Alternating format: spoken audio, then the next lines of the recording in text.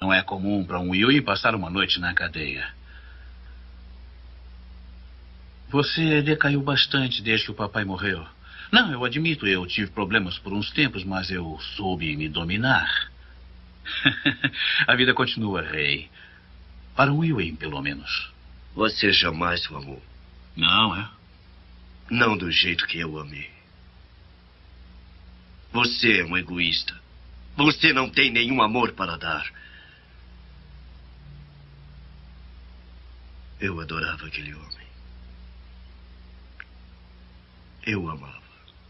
Você o amava tanto que está a ponto de levar a memória dele para o esgoto com você agora mesmo.